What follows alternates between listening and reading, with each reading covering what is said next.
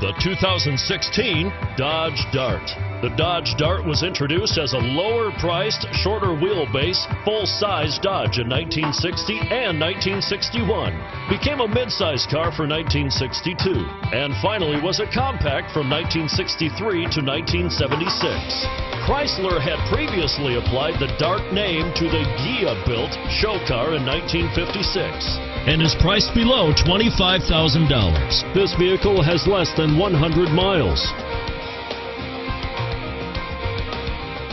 Your new ride is just a phone call away.